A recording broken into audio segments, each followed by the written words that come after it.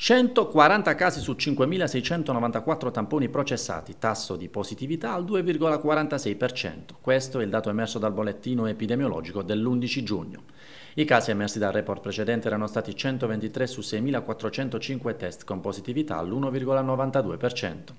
Il totale dei contagi da coronavirus registrati in Puglia sale a 252.020, di cui 14.347 attualmente positivi, 231.088 guariti e 6.585 deceduti.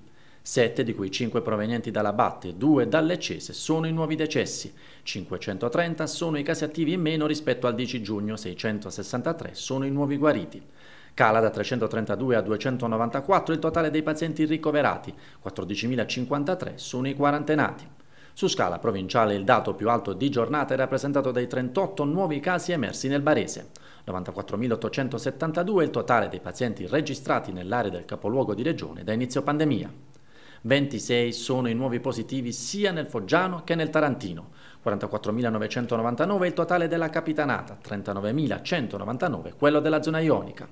19.565 il dato complessivo della provincia di Brindisi, 22 i nuovi casi emersi l'11 giugno nella zona messapica. 18 sono i nuovi contagi nell'Eccese, 26.749 il totale della zona salentina.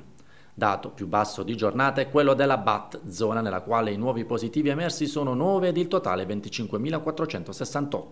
A chiudere il quadro un residente fuori regione. 2.561.176 è il totale dei tamponi processati in Puglia da inizio pandemia.